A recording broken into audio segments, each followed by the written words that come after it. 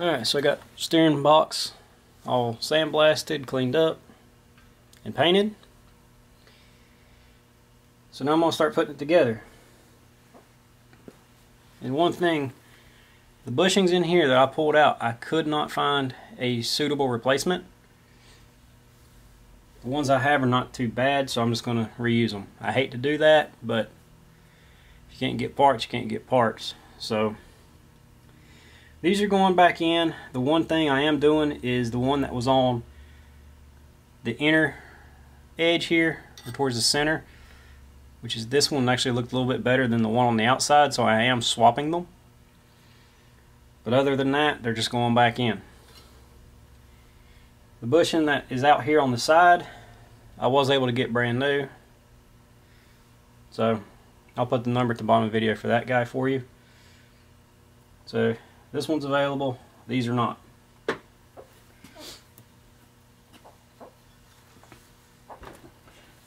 And before I get too going into it, I'm going to follow the manual pretty close.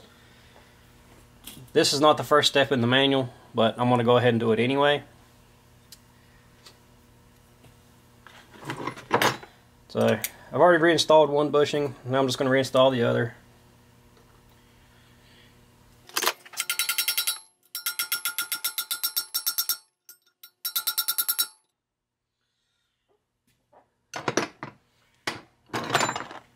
Bushing I'm going to install flush in here to the edge. The one on the inside is actually down about eighth of an inch.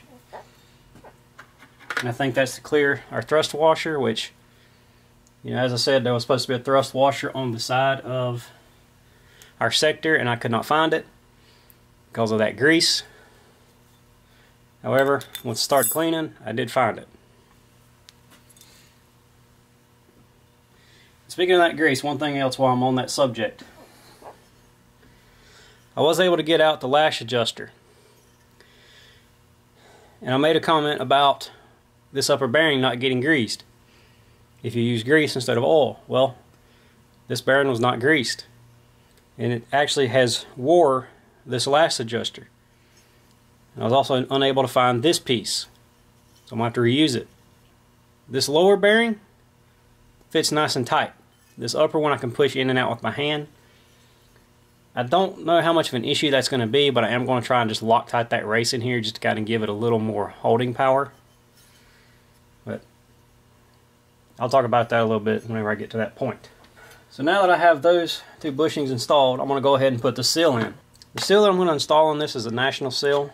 The number is 472287. Let's see, this seal has paint. We got paint here, so I'm not really going to put any RTV on it. Alright, let's get this seal up here.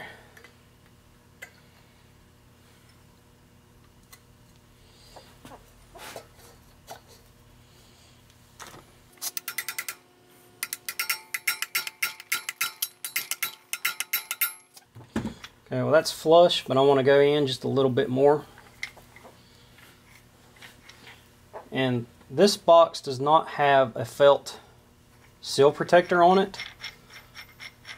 I'm not sure exactly why, but it does not exist. So there's no need to worry about that. I'm just going to knock this thing in to the bottom of that little chamfer right in there, which is about 16th, 8th of an inch.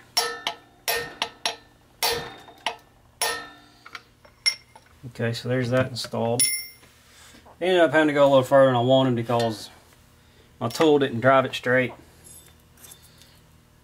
Make sure it's still good.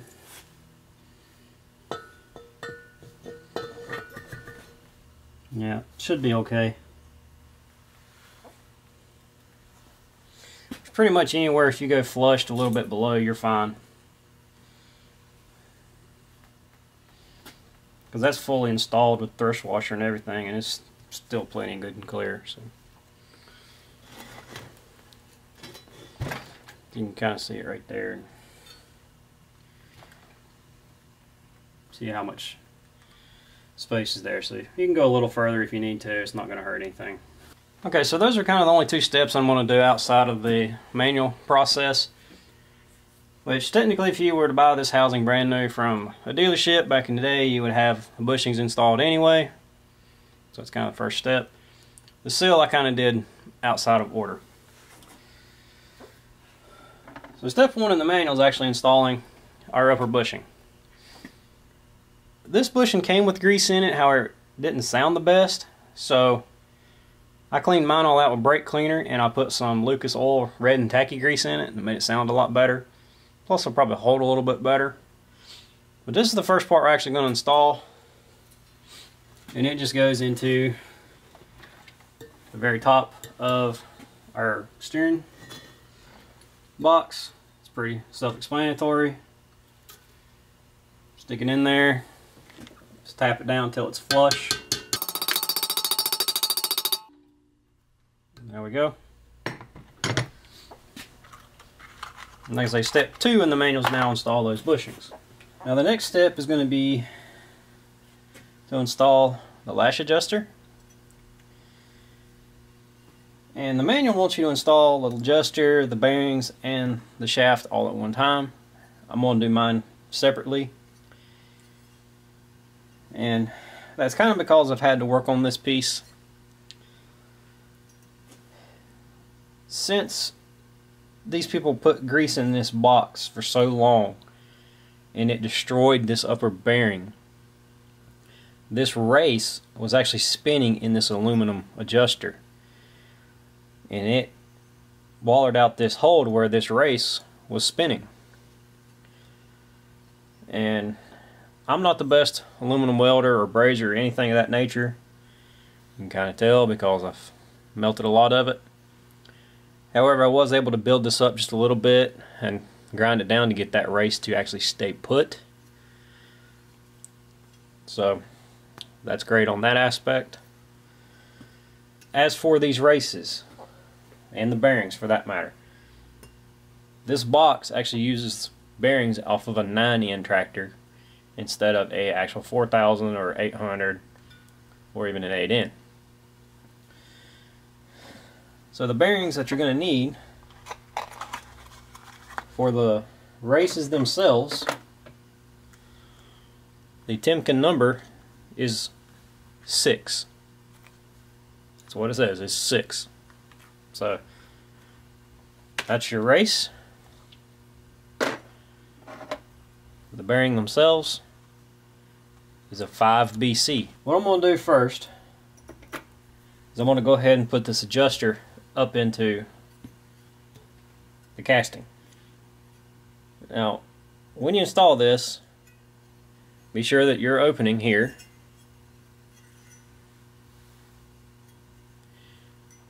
See how this is cut off? Be sure that this cut off part is towards the center. And it's basically just going to slide up in there.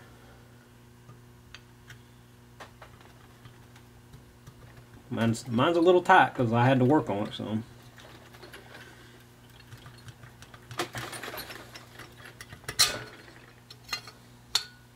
But the good thing about it being tight, the bearings should spin and not not the lash adjuster.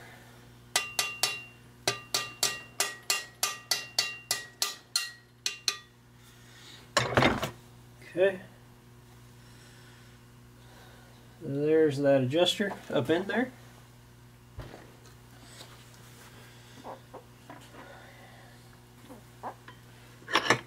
Then I'm going to take the shaft and go ahead and slide one of the bearings on. And I am assembling all this stuff dry. Because once I fill it up with oil, it'll get lubricated anyway, and that's going to be something I do as soon as I bolt this back to the tractor.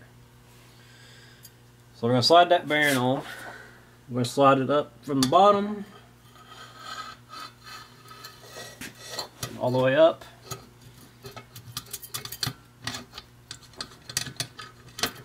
Ow. And up through our upper bearing. And I'm going to go ahead and put nut on it just to kind of keep it from falling all the way out. I'm going to go ahead now and stick the next bearing and race up into the lash adjuster and onto the shaft. And I'm going to take and just lay it down just simply so it doesn't come flying out the bottom. Next thing we're going to do is going to be the lash adjuster on the bottom. This thing's a little weird to me. Okay, so we have this plate and this gasket. So that'll seal this plate to the bottom. But the problem is, what seals our lash adjuster to the plate? And to this. Because you're gonna it's gonna weep oil around it. It says the 55 and 56 get an o-ring down here and the parts manual shows like a packing but it doesn't really specify what so I'm going to come up with something to kind of seal this up because I don't want mine leaking. And I'll pretty much figure it out as I go. But we're going to basically go ahead and assemble this as so. And I am going to take on the actual threaded adjuster. And I'm going to put some pipe dope on here to seal this up. Now, this is not a step that is specified this is something I'm just doing to try and seal up the bottom of this steering box the best that I can. Because when I took this apart, this entire assembly was covered in a dust and grease mess. Alright, so, so far I have the gasket, the splined adjuster, and the actual screw. And that's all I'm going to put on there just for the minute. There are some other parts, but I'm going to do them in a second. The next part I'm going to put in is going to be our thrust washer. This button side is going to go towards our adjuster. So I'm going to go ahead now and stick this up here. And get my splines lined up. One thing on this lash adjuster, the sleeve which I kind of figured mine would stay put, however I just moved it. On this adjuster here, we have these splines. Figured mine would stay in place, but it moved. But this spline right here needs to kind of be on this side of the bolt. So I'm going to have to move or spin that to get that back up there. I just spun it with a screwdriver. I'm going to go ahead and get these bolts put in and ran up. The bolt in this lower like you're staring here, this lower right hand corner, one of these bolts is about an eighth of an inch longer. That bolt needs to go in that hole. Because that bolt holds our adjuster plate. So these bolts here, these three, we can go ahead and snug down. However, this bolt down here, we still want left loose. And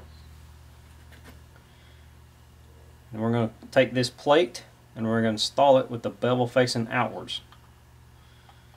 Like I said, I'm probably going to come in here and put something on here like a cork gasket material or an o-ring or something because I think that should be sealed up. See, as far as the torque spec on these, I would say probably 20 to 25. I don't see one called out in the book. Being a 5 16 bolt, that's typically the kind of torque spec you or torque you'd put on those bolts. And say this bolt here, I'm just going to run up just fingers tight and leave it. Alright, so I got those torqued down. I just took and made a little eighth inch cork rubber o-ring I'm going to stick on the bottom of this but I'm going to wait until I get this thing adjusted before I stick this on there just for the simple fact this is not called for so it may mess up some of my adjustment measurements. So I'm just going to leave it off for time being. I'm going to go ahead and stick this plate back on it. Just kind of run that bolt up there a little snug. So now I'm going to go ahead and put the lock nut back on.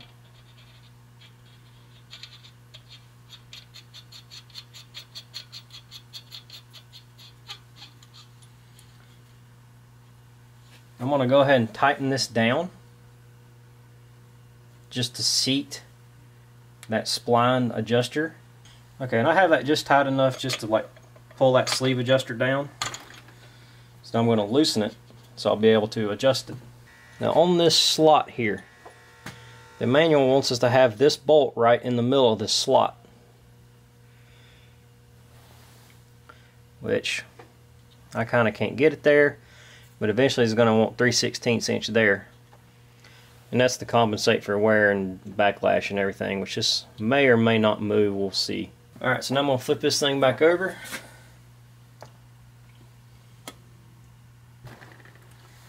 And you can hear how much plays in my bearings at the moment. Alright, so back up top here, we're going to go ahead and install a new spring,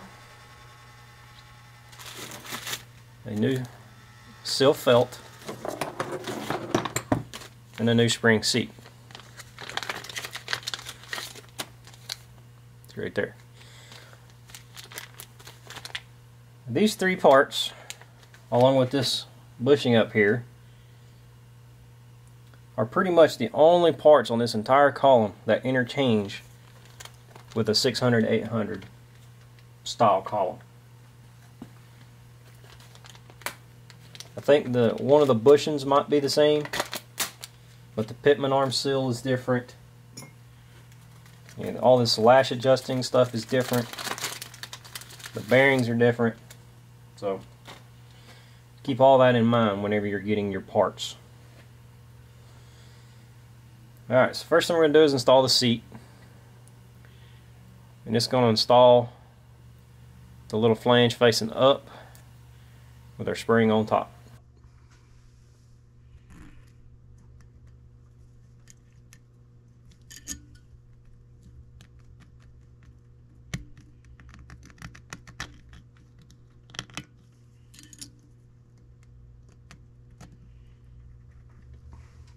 Then we have this little felt seal that goes over top of everything. Which I'll be honest, it's kind of easier to stick these into the steering wheel. I'm going to actually just go ahead and just take this off of mine because I haven't refurbished my steering wheel yet. I still have to repaint the center spokes because they're a little rusted. So I'm just going to leave this off for now, but don't forget to put this little guy back on there before you put your steering wheel on during final assembly. Okay, now we're going to go ahead and take our steering wheel and get it set up here. And we're going to go ahead and get this tightened down a little bit. This don't have to be 100% tight or anything, but you do need all of the slack out of it. And it spins pretty good. However, we're probably still not in the correct spec just yet. So now we need our spring scale. This step, the way it's wording is really confusing. And the reason being, you know, we have infinite degrees of which to turn our steering wheel right now. But the manual says preload should be between 4.5 to 9 inch pounds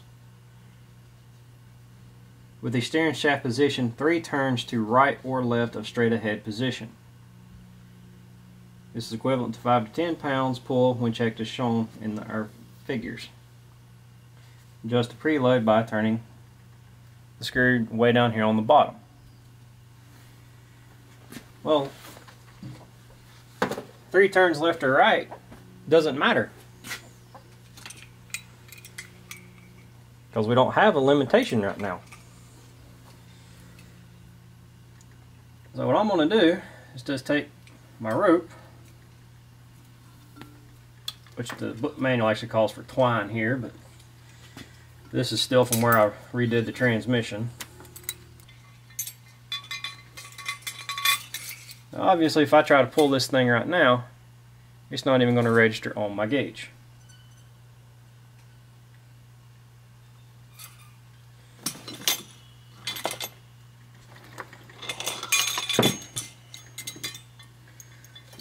So, I'm going to come back down here to this big bolt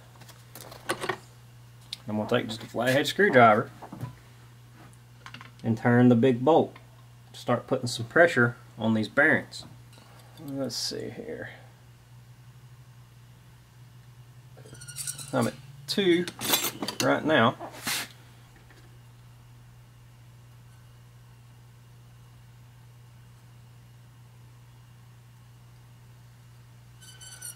Okay, so there's mine. I'm, I'm getting a pull of about four or five.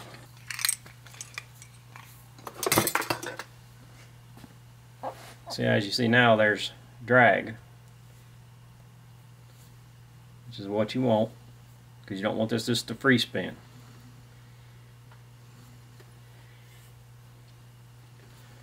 So this box doesn't have it, but however, like on your 8N and your 100 series, like your 6 and your 8, your 01s and all those, your utility type tractors, I guess is what I should say, really. You'll have four bolts right in this area with a square plate. Well, on that plate is shims, and that preload your your worm gear bearings in here. And since this column does not have a separate upper tube assembly, you have this adjuster down here at the bottom to set your preload. So now, let's go back down here. So now, I'm going to pull mine back off. And what's important here is to try to keep this preload adjuster from moving.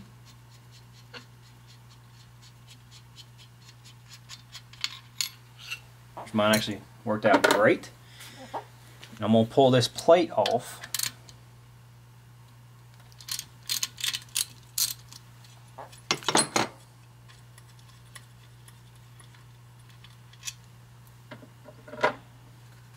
And I'm going to stick that cork rubber gasket in here now. And who knows, this may not do a dang thing, it may seal it up, I don't know. Then we'll put my plate back on it.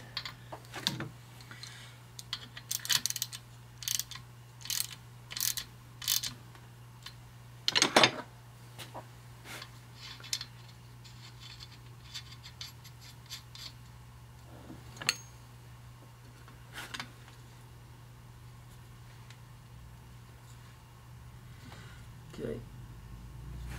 But basically I'm gonna go put that on there. So I gotta do a little bit of tweaking here real quick. And then once I get that on there, I'm just gonna double check and make sure that my preload is still where I want it. Okay, so yeah, use the uh, 16th inch cork rubber for that instead of the 8th inch. You should be fine. We'll put this bolt here on for it holds our lock plate and we'll go ahead and just torque it down now. Okay, and now that I have that done, or I got that bolt torqued for the plate. I'm going to go ahead now and snug down this big nut. Now here's the problem that you're going to run into, that I'm running into. Once you finally start to torque it, it's going to try and twist your adjustment out of spec because it just twisted mine tighter. I'm just going to use some channel locks to tighten this nut up while holding the slotted adjuster.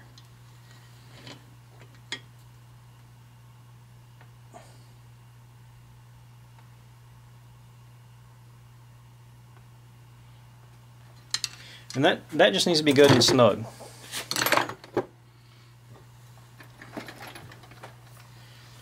See my wheel is still turning. So let me just double check my pull.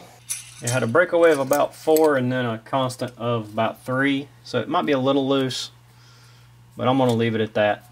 There's the column part in the actual steering shaft. So now my next step is going to be to actually center the shaft.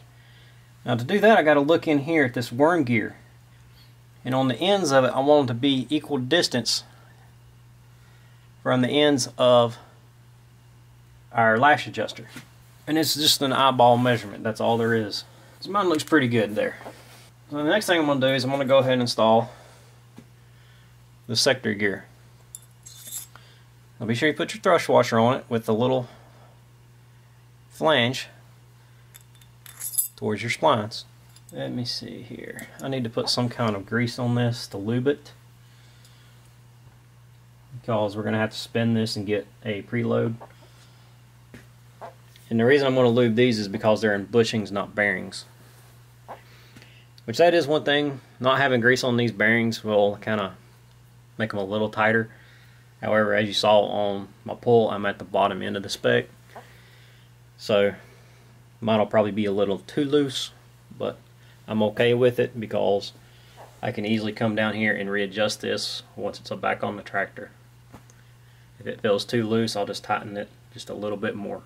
And so I'm just going to take just some assembly lube. But you can use gear lube if you want to. I don't currently have the gear lube I'm going to put in here. Up here at the moment, it's down in the chicken house with the tractor. So I'm going to use just use this assembly lube. And I'm also going to put a little bit of lube out here where the sill will ride. Just so the sill's not dry. And so now, whenever you install this, we have seven teeth on this gear. So tooth number four here needs to be in the center of your worm gear. If not, you're going to have limited steering.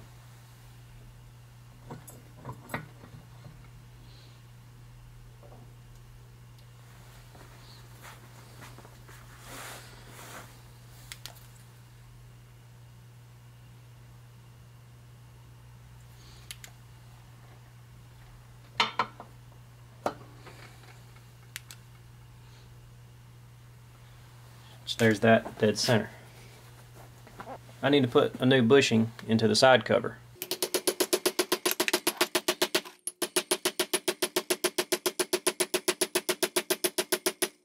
Now this bushing, I believe you can drive all the way until it stops. Dumb A me didn't look at it when I took it out. But I think you have enough area here that as long as it's in the housing at least flush you're okay. So mine's just a little little bit underneath. I'm gonna run it at that. And we got a new gasket. And this gasket I just made from some 10 thousandths gasket paper the same material I actually used up here. These are probably available from New Holland. But I figured I'd take a challenge and make one myself. I'm pretty happy with the results. Put some more lube right here on the side of the sector gear. And then we'll install our side cover.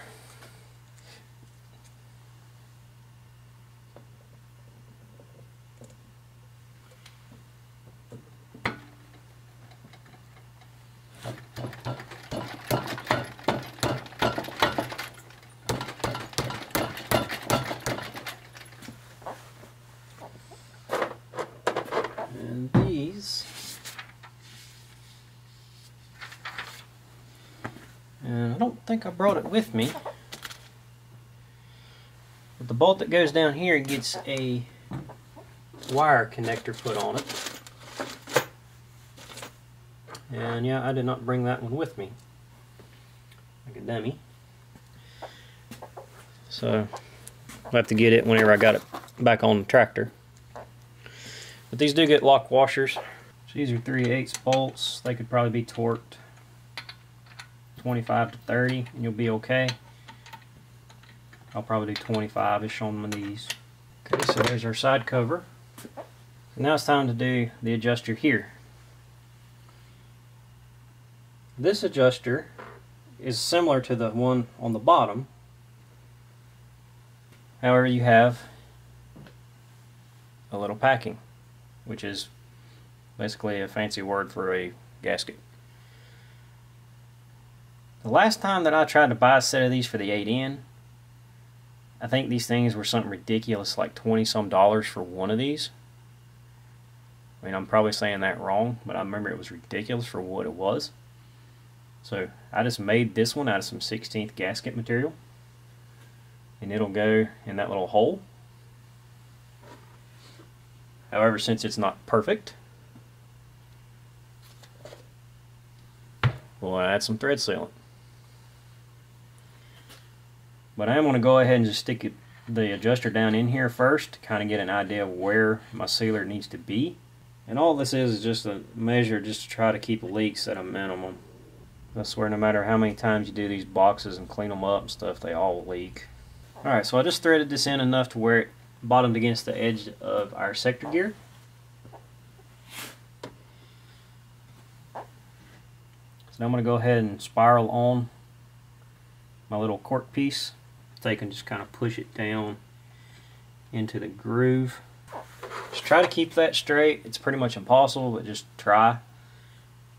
I'm going to go ahead and put the washer on it and the lock nut. I'm just going to kind of snug them down just a little bit. Alright, so to adjust this, once you have the pitman arm on here and basically use it as leverage to eliminate any end play in this shaft. Which I have my pitman arm over here all nicely painted and ready to go.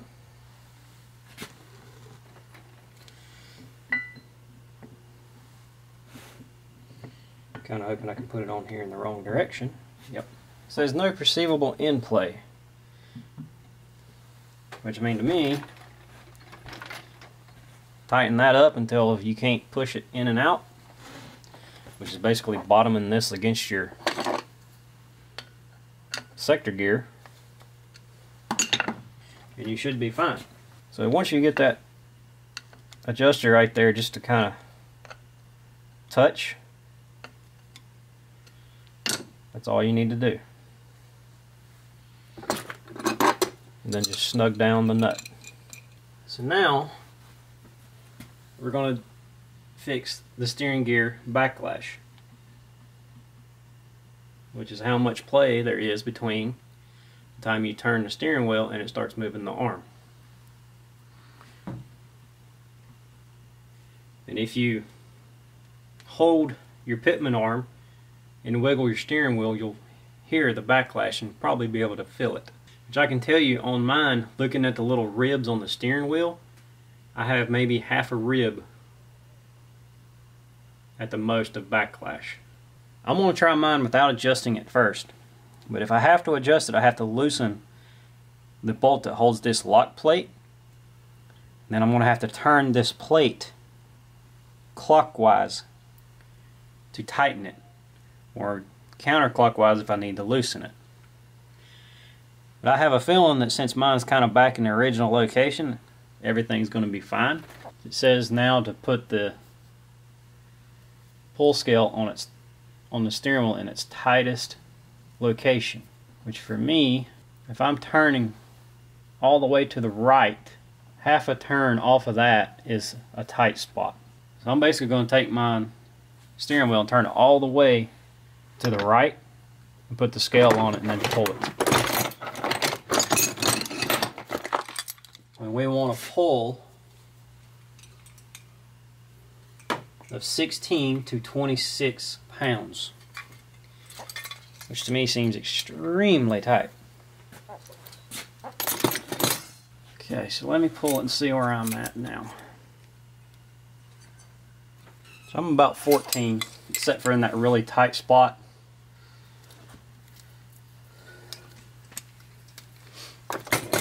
I'm not really sure what that tight spot is all about there. Because that's the only place I have that. Everywhere else feels pretty good.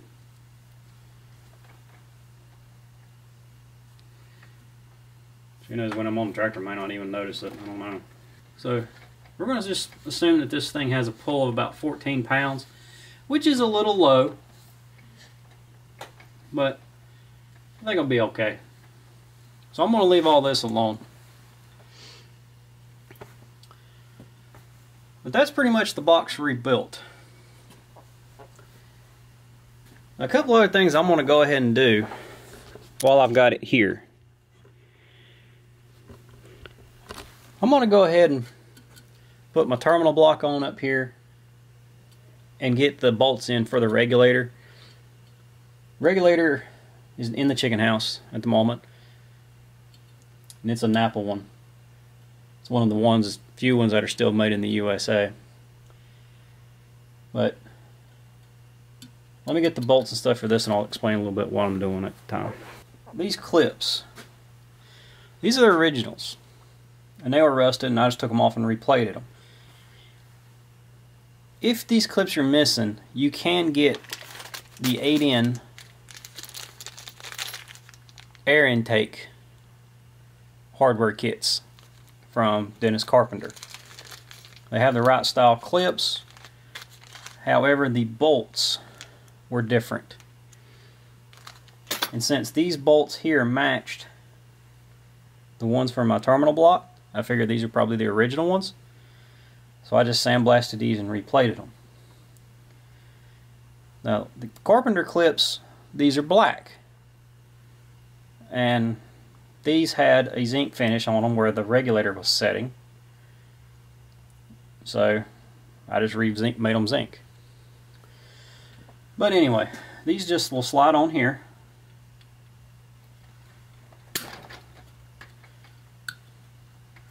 And unfortunately it knocks paint off, but yeah, it is what it is.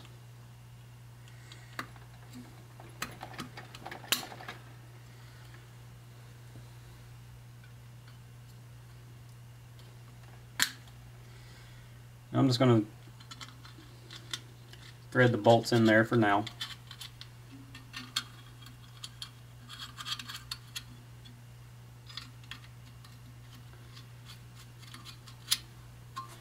And then whenever I get the regulator ready to go on here, it's just a matter of simple bolting it on and we're done. The terminal blocks. The original terminal block was metal or had a metal plate and a phenolic center, or, or not phenolic, uh, Bakelite center, I would assume. These new reproduction ones are all plastic. These are the same for the 8N all the way up through at least the 64. You can buy new hardware for them. They're a little different. They're like a self-threading machine screw. But they will work just fine.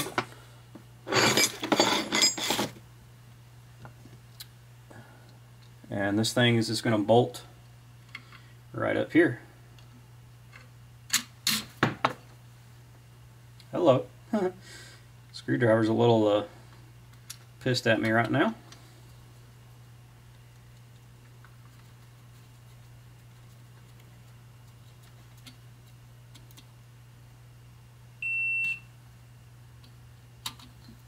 Yeah, there, there goes the GoPro turning off, so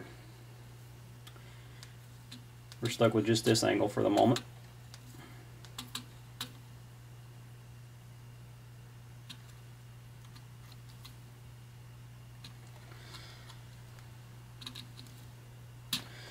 Okay, so now the steering box is now ready to go back down to the tractor and be installed.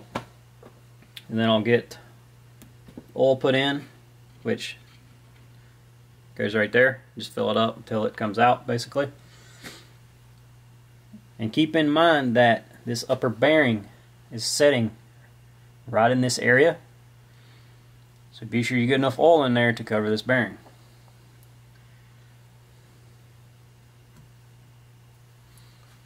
Otherwise you'll burn it up melt everything like somebody did with this one. So onto the tractor. Alright, just want to throw this on here as a quick update since I didn't really film anything for the rear tires. Mainly just due to liability issues. But as you can see, the rear rims and tires and wheels all got sandblasted and painted. And installed, and tractor's sitting back on the ground now.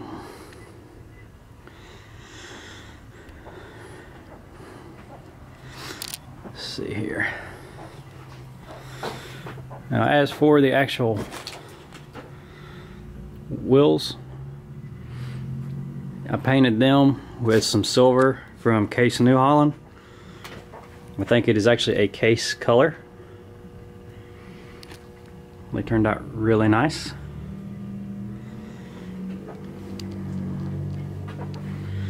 The centers are the 8N style gray which should be correct for this tractor as well.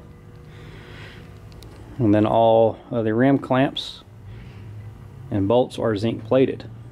And right now at the moment the tires have just air in them. They will probably stay that way. If I have traction issues I might try to find a set of pie weights to put on here.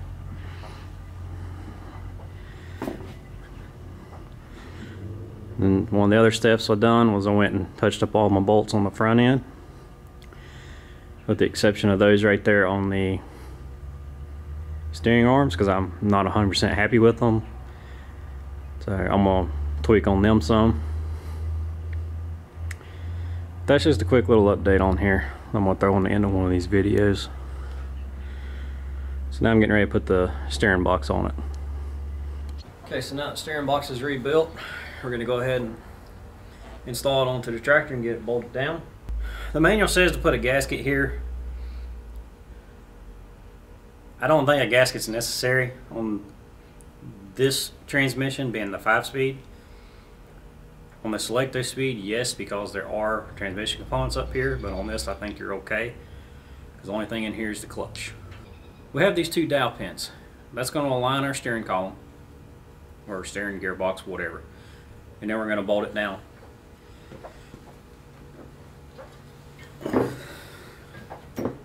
Lift this up and set her on.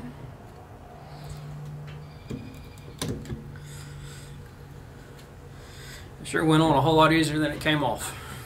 If you haven't seen that video, I encourage you to go back and check it. It's one of my disassemblies. I'll link it in the description. And I'm going to just torque them down to 45 foot-pounds and these do not get any washers. Okay, so there's our steering column bolted down. I'm gonna go ahead and go get a wire clamp and throw over here on this side. That way I can come in here with a paintbrush and touch up all these bolts and make them all blue. And I have no idea why this is coppery color. Out of all the tractors I've done, this is the only one that's been like that. It's cool looking, but I don't know what the point of it is. So I'm gonna put some 85 140 gear oil in here. This is some of the thickest gear oil I could find. So you pull off this plug on top, you just fill it up till it's pretty much coming out the top. And to not bore you with me sitting here doing this, this is pretty much where I'm going to end this video. Guys, I don't know when I'm going to get around to editing this video, but it's late February right now. And it's probably about 30 degrees out here in the chicken house, so 80 weight gear oil is going to move extremely slow. But thank you for watching, and hopefully you can rebuild your steering box now.